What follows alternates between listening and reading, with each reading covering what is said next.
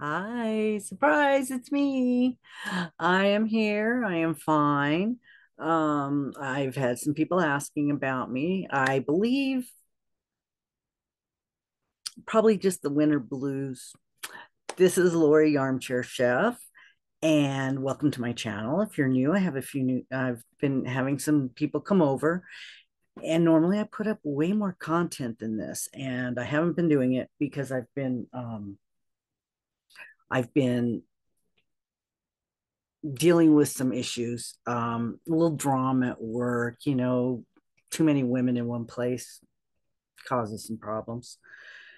Probably hormones or something. I mean, I don't have them anymore, but uh, everybody else, most of them do.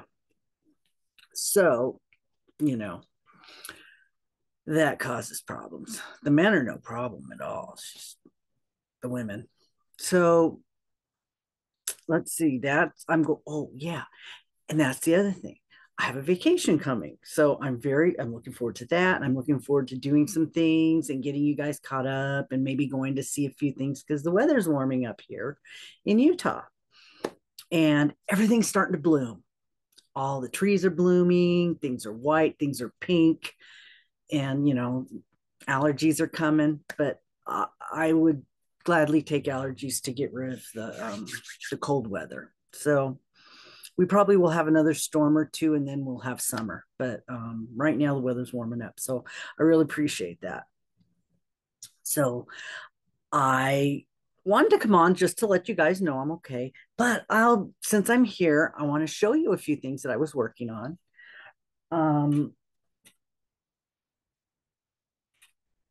this is the hat that Erin talks about, where she just goes around and does a basic thing. So I thought, well, shoot, I'll just do it and I'll make it out of blanket yarn. And this is as far as I got.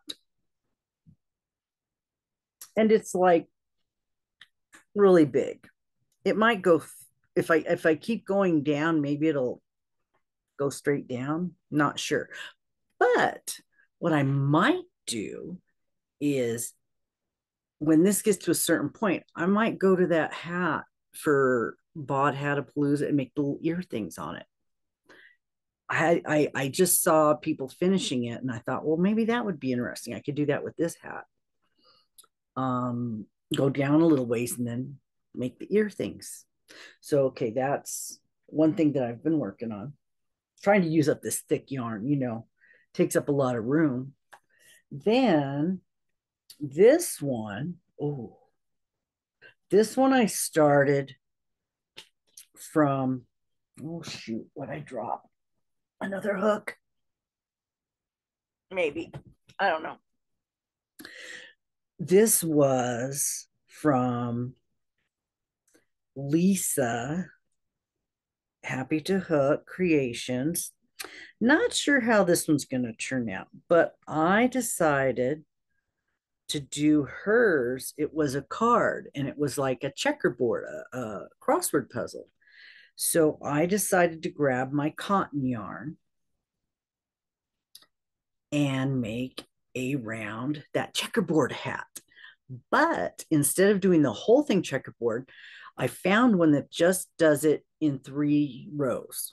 So that's kind of what I was doing right now at the moment is doing the checkerboard. But what I found was I have this kind of fuzzy cotton yarn, and then I have the variegated cotton yarn. So I was going to do the squares and the fuzzy stuff.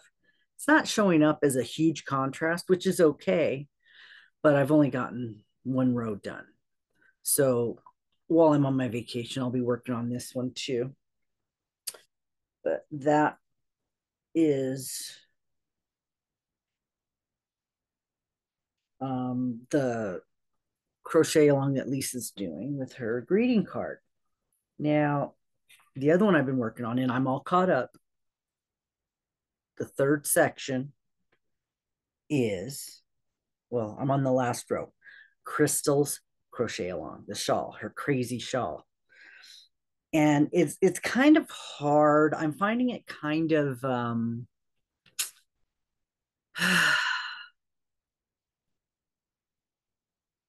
she's going by the seat of her pants and just making it up as she go and she's brilliant she's so good at math that she can just do this on the fly and know exactly what stitches to do it's incredible it really is and not undo it not redo it just keep going so but as a person crocheting, to me, it gets a little, I don't know, it's it, frustrating or just.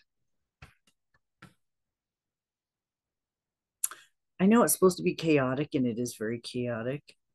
Um, but well, let me show you what I've done. I decided to use yarn I got in my Herrschner mystery boxes the mandala sequin. So it has the little teeny sequins on it. This is um, some peaches, grays. I know the light's not good because I've got my other side light on. And I've already done through one cake and I'm on my second cake. And I almost sort of color controlled it. When I got to, let me put my stitch marker in here so I don't I can show you guys without losing anything. I started out with the dark color, and because the beginning does a lot, the darker color is kind of thicker. It's sort of a little lavender color here at the top, and then it goes to the darker gray. And then it just sort of started. Let's see, that's the back. It's just sort of started um, color color um, controlling itself until I got to this darker one.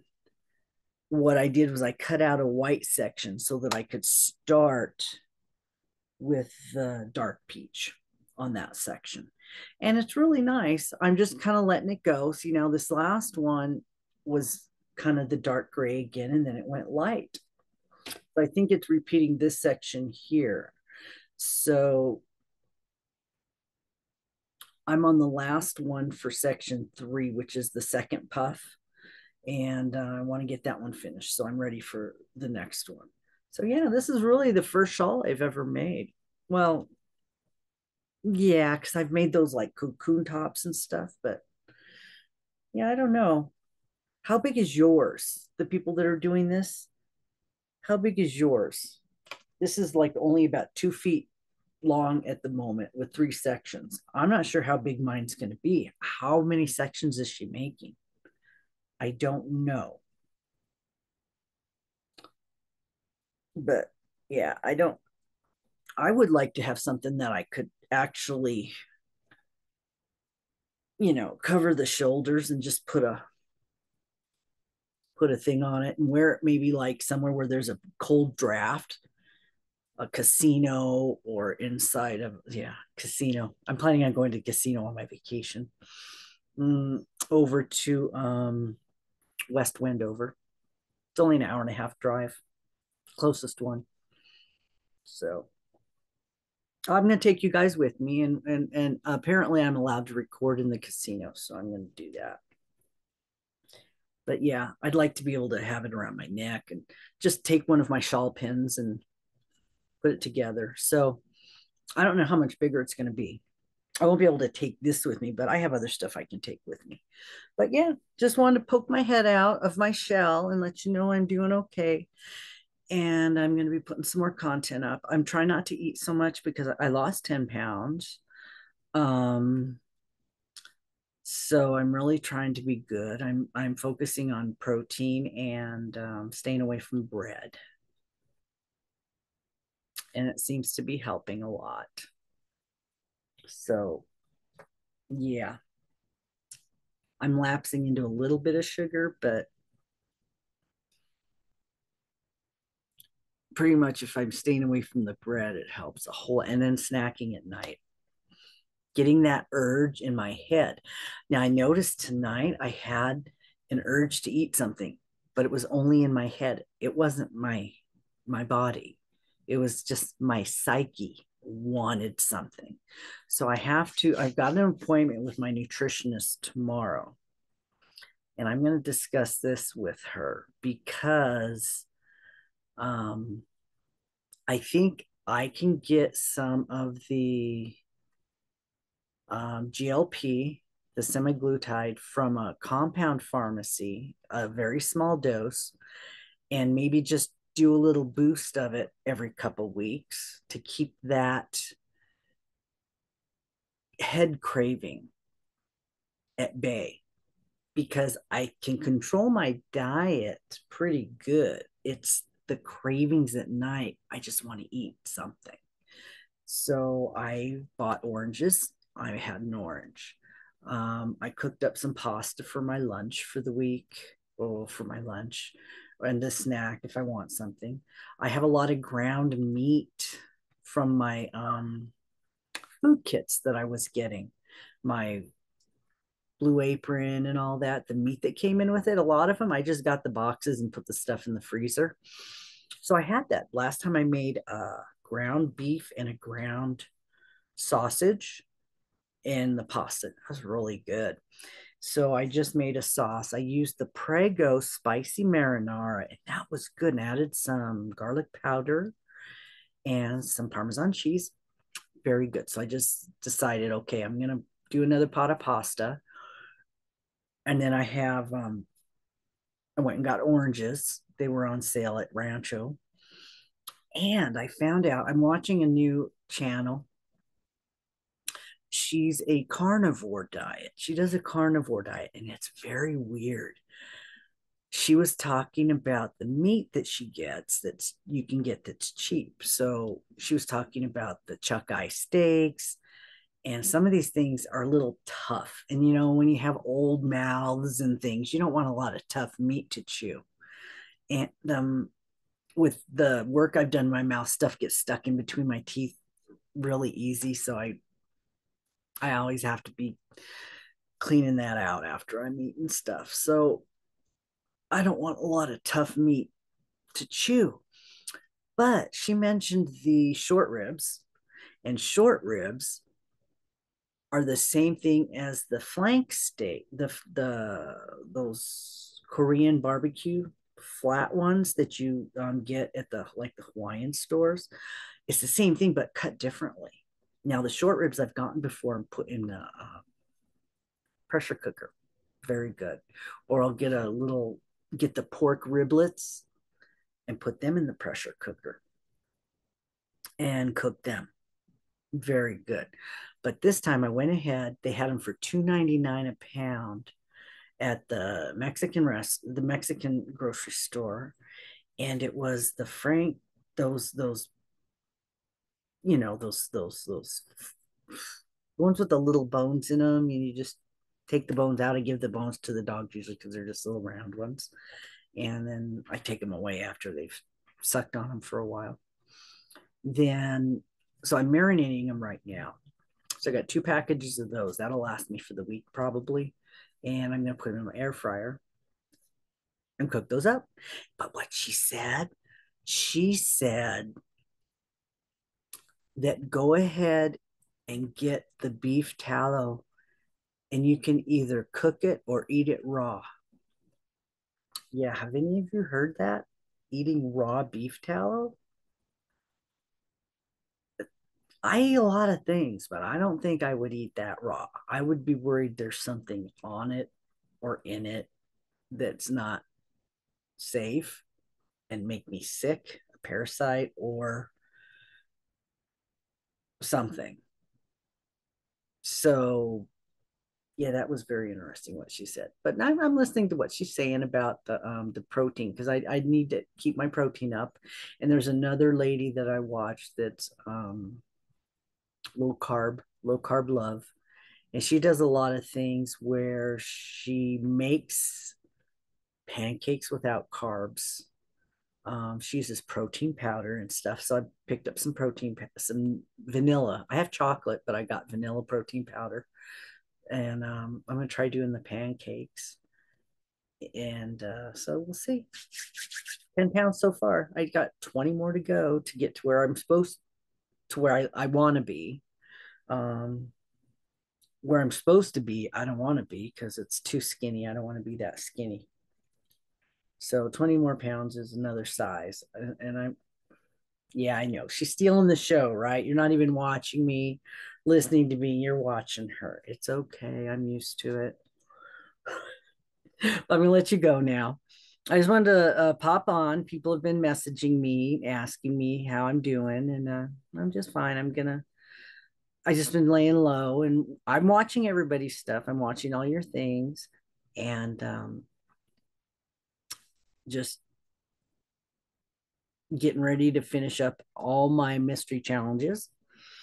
I have to go through and look up pictures and take screenshots from videos. So if I don't have your stuff, it's not going up. It's it's late now. If I can't find it, I'm just gonna put up what I've got and um, go through. I'm I'm searching my email and I'm gonna go through the playlist of videos. And if I have it, I have it. If I don't, I don't. And um, I'm gonna put put my videos together. And I've got a good time to do that this week to spend being creative and do all that. So it'll keep me, uh, give my hand a rest. My hand was hurting because I've been crocheting every single day to get this thing caught up. But I got to go to bed. So I'm going to save this for tomorrow. I don't know when her next one's coming out. She's been doing it like every five days. Where did I drop my hook again? I don't know. Where did I put it? Oh, there it is. I find I like the metal hooks and the Odyssey. I really like these. I may start looking for some of these. I know they're probably going to be expensive because I might be able to find some somewhere. But yeah, I've got a few of the good sizes. But the metal hooks, I like the metal hooks. So what I might do is maybe I can do okay, those of you that do the knockoffs, is there a knockoff like this that's metal the shape because I like the shape and the metal is smooth. So like the Omi from that people are buying, is there a metal version? Do you know if there's one? Let me know. Give me the name of it if you know there's one, okay? Because I, I like the metal ones. And you know, and I pick these, I pick these up, um, the other ones up. I pick them up when they're 12 bucks. And um and I'll use them, but I'm really liking the metal. It's just smoother. It's easier on me. I'm not struggling with it as much. But yeah. Okay.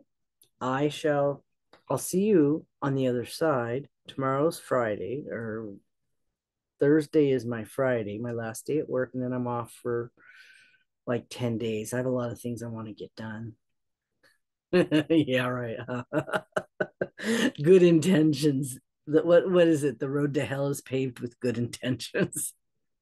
yeah, I have a feeling that's where where my good intentions are going to be going to hell. so okay. Thanks for watching. Thanks for showing your concern and um I will I will see you soon. Very soon. Okay? Bye.